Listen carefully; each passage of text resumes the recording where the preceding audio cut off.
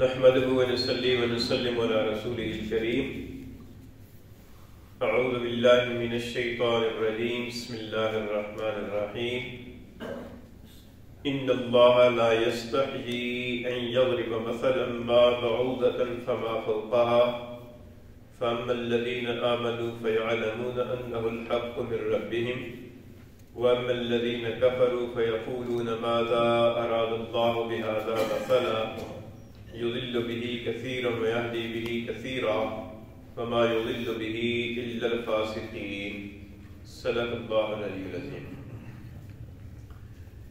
इन अल्लाह ला यस्तहयी बेशक बेशक अल्लाह ताला नहीं शर्माता कहीं यजरिबा मसलम मा बऊज़तन फमा फौक़हा ये कि बयान फरमाए कोई मिसाल मच्छर की या मच्छर से भी बढ़कर किसी चीज़ की लोग ईमान लाए फ़यालमूना सो वो जानते हैं अन्नहुल हक़ मिन रब्बिहिम कि बेशक ये हक है उनके रब की तरफ़ से वमल्लदीन कफरू पर बहरहाल जिन लोगों ने कुफर किया फ़यकूलून सो वो ये कहते हैं मादा अराद अल्लाह बिहाजा मसला क्या इरादा किया है अल्लाह ने इस मिसाल के साथ युजुल्लु बिही कसीरा गुमराह करता है, अल्लाह इसके ज़रिए बहुत सौ को वयादी कसीरा और हिदायत देता है इसके ज़रिए बहुत सौ को वमाफासिन और नहीं गुमराह करता इसके ज़रिए मगर नाफरमानों को। गुजश्ता से व्यवस्था आयत में,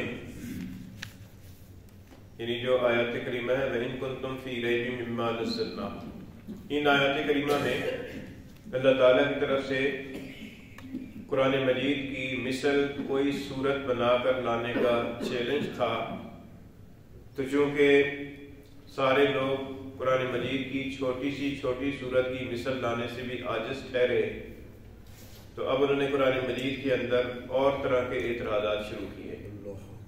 उनमें एक एतराज़ ये किया कि कुरान मजीद कैसे अल्लाह का कलाम हो सकता है, जबकि इसके अंदर मक्खी की, मकड़ी की और ऐसी मामूली मामूली चीज़ों की मिसालें बयान की गई हैं। सुरह हज के अंदर जब आयत करीमा नाजिल हुई कि जिसका मफहूम यह है कि जो जिन लोगों को, जिनको तुम अल्लाह के सिवा पुकारते हो, वो तो एक मक्खी भी पैदा नहीं कर सकते। पर मक्खी पैदा करना तो दूर की बात है। मक्खी अगर उनकी कोई चीज़ उठा उठा कर उड़ जाए तो वो उससे वापस नहीं ले सकते। और इसी तरीके से सूर्य आन कबूत के अंदर अल्लाह ताला ने फरमाया कि जो लोग अल्लाह के सिवा दूसरों को पुकारते हैं कारसाज बनाकर, उनकी मिसाल ऐसे है कि जैसे मकड़ी होती है कि वो अपना जाला तनती है और इसी को कहती है कि मेरा घर है। तो ऐसा पौधा और कमज़ोर उनका नज़रिया है। तो जब ये मकड़ी की और मक्खी की मिसालें नाजिल हुई तो काफरों ने ये इसकी पर शोशा उठाया कि देखो ये अल्लाह का कलाम कैसे हो सकता है? जिसके अंदर मामूली मामूली और घटिया चीज़ों की मिसालें दी गई हैं। तो ये अल्लाह का कलाम नहीं हो सकता। तो इस मौके पर, पर अल्लाह ताला की तरफ़ से आयत करीमा नाजिल हुई। और इसके अंदर अल्लाह ताला ने ये फरमाया कि इन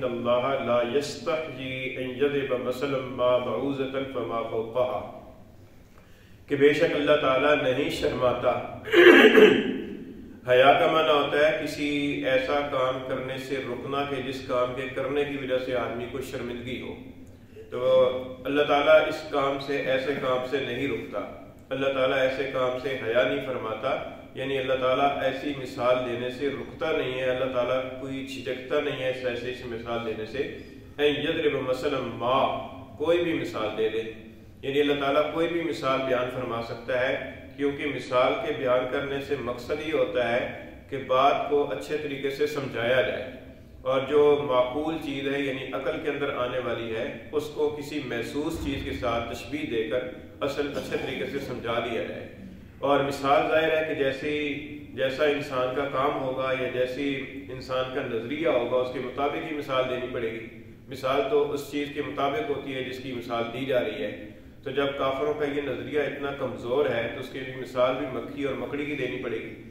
तो ये फरमाया कि अल्लाह ताला इस बात से नहीं शर्माता कि वो कोई भी मिसाल बयान करे, बऊज़तन फमाफ़ो कहा खा मच्छर की हो या मच्छर से भी बढ़कर किसी चीज़ की हो। मच्छर की मिसाल या मच्छर से बढ़कर, मच्छर से बढ़कर किसी चीज़ की हो, इसके दो मफहूम ने बयान फरमाया है।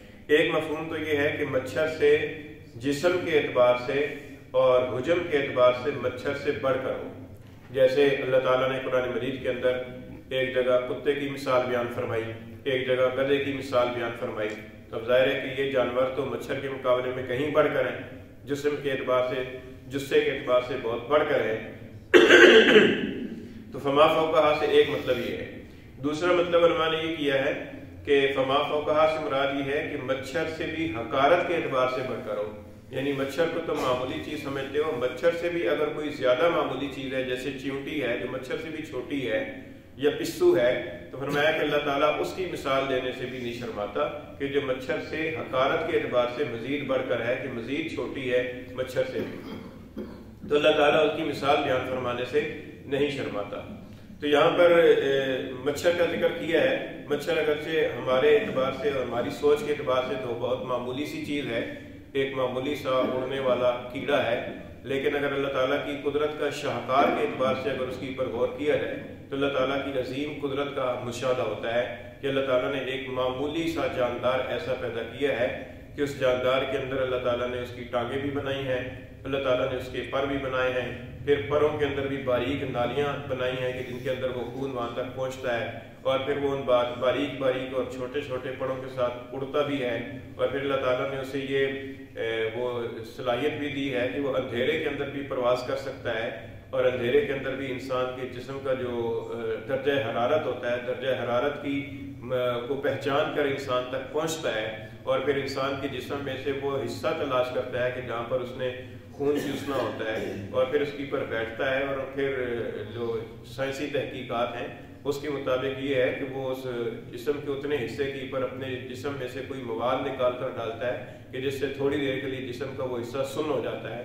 और फिर उसके पास अल्लाह ताला ने उसे छुरियाँ दी हैं छोटी छोटी जिनके ज़रिए से वो कट करता है और कट करने के बाद फिर अपनी सून के ज़रिए से वहाँ से खून चूसता है। बल्कि ये भी लिखा है कि इंसान का खून गाढ़ा होता है तो अल्लाह ताला ने उसके जिसम के अंदर ऐसा मवाद डाला है कि वो उसके ऊपर मवाद डालता है तो उसकी वजह से थोड़ी देर के लिए खून पतला हो जाता है और वो सूट के ज़रिए से अपने जिसम के अंदर खून को चूस लेता है। और फिर जब वो चूस कर उड़ जाता है तो फिर उसके बाद वो जिसम का जो सुन हिस्सा होता है, वो नॉर्मल होता है तो फिर इंसान को एहसास होता है कि मुझे किसी चीज़ ने काटा है। तो ये अल्लाह ताला की अगर इस की पर गौर किया जाए, जैसा कि साइंसदानों ने किया है कि उस उस मच्छर को जो है ना वो बड़ी बड़ी खुर्दबीनों के ज़रिए से जूम करके, बड़ा करके उसको देखा है तो उसके ज़रिए से बहुत सारे इंकशाफात किए हैं। आजकल ये इंटरनेट का दौर है तो नेट की पर अगर विकीपीडिया के अंदर ये इसके वो रुदात पड़ी रहे कि इसके अल्लाह ताला ने इसको क्या क्या चीज़ें दे रखी हैं तो बताया तो एक मामूली सी चीज़ है। लेकिन अल्लाह ताला की कुदरत का एक अजीब शाहकार है। तो फरमाया कि ये अल्लाह ताला इस बात से नहीं शर्माता कि कोई भी मिसाल बयान फरमाए खा मच्छर की हो या किसी भी चीज़ की। फ़मल्लिन आमन, ईमान वालों का, ईमान क्या तकाजा करता है। फरमाया कि जो ईमान वाले होते हैं तो इस तरह की मिसाल सुनकर वो ये ईमान लाते हैं कि बेशक ये उनके रब की तरफ़ से हक है। और अपने रब की हक्कानियत की पर, और रब की सदाकत की पर, और रब की कुदरत की पर मजीद ईमान लाते हैं। उनके ईमान के अंदर इजाफा होता है। वमल्लिन कफर, और बहरल जो लोग काफिर हैं, यानी जिनके जिसम, जिनके दिल के अंदर जिद है और इनाद है, और जिन्होंने शुभ ही निकालना होता है तो चूँकि उनका नज़रिया ही दूसरा होता है, उनकी सोच ही दूसरी होती है, इसलिए वो ये कहते हैं कि माला मसला, भला इस मिसाल बयान करने से अल्लाह का क्या मतलब है? यानी उनको तो मकसद ही एतराज़ करना होता है ना। जिस आदमी की सोच ही ये हो कि मैंने इस किताब को या किसी भी किताब को मैंने सिर्फ़ तनकीदी नज़र से देखना है, और मैंने इसी नज़र से देखना है कि इसके अंदर खराबी निकालनी है तो ज़ाहिर है कि खराबियाँ तो फिर उसमें मिल ही जाएँगी। तो ये इंसान की सोच का फ़र्क होता है कि जो इंसान किसी चीज़ की अजमत का कायल होता है तो उसके अंदर उसकी सोच दूसरी होती है और जो आदमी किसी की अजमत का कायल नहीं होता और उसके अंदर वो ऐब और नुकताचीनी के लिए वो उसको देखता है या सोचता है तो उसके लिए फिर नुकताचीनी निकल आती है। तो फिर मैं कि जो काफिर हैं, दरअसल इनके अंदर कुफर है, जिद है या रहनाद है। इस वजह से ये कहते हैं कि भला इस मिसाल से अल्लाह ताला को क्या मुराद है जी? इससे क्यों, ये मिसाल क्यों बयान की है जी? इससे क्या मुराद है जी? युजिल्लु भी कसीरा। अल्लाह ताला ने फरमाया कि एक बड़ी हिकमत मिसालों के बयान करने से ये है कि मिसालों के ज़रिए से अल्लाह ताला बहुत सारों को गुमराह कर देता है और इन्हीं मिसालों के ज़रिए से अल्लाह ताला बहुत सारों को हिदायत देता है। चुनाचे जो ईमान वाले हैं और जो मुस्बत सोच रखने वाले हैं, वो जब इन मिसालों के अंदर गौर फ़िक्र करते हैं और समझने की नीयत से गौर फ़िक्र करते हैं तो अल्लाह ताला उनकी हिदायत और ईमान के अंदर मजीद इजाफा फरमाता है। और जो लोग ऐसे हैं कि जो इन मिसालों को एतराज़ की नीयत से देखते हैं तो उनकी गुमराही के अंदर इजाफा हो जाता है। तो इसके अंदर मिसाल के अंदर कोई खराबी नहीं है, बल्कि ये खराबी उनके अपने जेन के अंदर है, उन, अपनी सोच के अंदर खराबी है। और इसी वजह से दूसरी जगह अल्लाह ताला ने पीछे फरमाया है मुनाफिकीन के बारे में कि फ़ी कुलूब मरजन कि उनके दिलों के अंदर बीमारी है। तो ये दरअसल सोच की बीमारी है, फ़िक्र की बीमारी है, कि जिसकी वजह से वो गुमराह हो जाते हैं। वरना कुरान मजीद तो हिदायत के लिए नाजिल हुआ है। फरमाया कि वमाजिल्लफ़ासिकीन और अल्लाह ताला गुमराह नहीं फरमाता इन मिसाल के ज़रिए से या कुरान के ज़रिए से, मगर उन्हीं लोगों के जो फासिक होते हैं, नाफरमान होते हैं। और इसकी मिसाल ऐसी है कि जैसे कुरान मजीद तो वही की तरह, बारिश की तरह ऊपर से नाजिल होता है। जब हमारे यहाँ बारिश होती है तो जो हमारा इस्लामाबाद वाला एरिया है, जो साफ़ सुथरा और प्रॉपर तरीके से बना हुआ है, वो मज़ीद साफ़ हो जाता है। लेकिन हमारी गलियाँ और गंदी हो जाती हैं। सारा गंद जो है ना वो बाहर निकल आता है। तो ये बारिश का पानी तो गंदा नहीं है। गंद तो पहले से अंदर मौजूद है, वो उभर कर नुमाया होकर आ जाता है। तो इसी तरीके से जिन दिलों के अंदर पहले से गंद और बीमारी मौजूद है, जब बारिश वही की बारिश उतरती है तो वो गंद जो है ना उनके अंदर मजीद इजाफा होता है। तो वो दरअसल कुरान मजीद की नहीं उनके अंदर की जो गंदगी है, वो गंदगी नुमाया होती है। तो ये फरमाया कि अल्लाह ताला इसके ज़रिए से गुमराह नहीं करता, मगर उन्हीं लोगों को जो फासिक होते हैं, यानी जो काफिर होते हैं, जिनके दिन के अंदर ज़िद और इनाद होता है और वो इसी मनफी नुक़ नज़र से कुरान मजीद को देखते और सुनते हैं तो फिर उनके उस मरज़ के अंदर मजीद इजाफा हो जाता है। फरमाया कि इन अल्लाह ये बेशक अल्लाह ताला हया नहीं फरमाता, बेशक अल्लाह ताला झिझकता नहीं मसलम माँ, कि कोई भी मिसाल बयान फरमाए, बाऊजतन फमा फ़ोका खा मच्छर की हो या मच्छर से भी बढ़कर किसी चीज़ की हो। फमल्लिन आमन, पस बारह जो लोग ईमान लाए फ़यालमूना, वो जानते हैं अन्नवल हक को मेरे रब के बेशक ये हक है उनके रब की तरफ़ से। वमल्लिन कफर, और बारह जो लोग काफिर हुए, फ़यकूलूना, सो वो ये कहते हैं, माजा अरादल्ला बिहाजा मसला, क्या इरादा किया है अल्लाह ताला ने इस मिसाल से? युजिल भी कसीरा, गुमराह करता है इसके ज़रिए से बहुत सारों को वजह भी कसीरा, और हिदायत देता है इसके ज़रिए बहुत सारों को। वमा युजिल भी फासिकीन, और गुमराह नहीं करता मगर इसके ज़रिए मगर फासिकों को।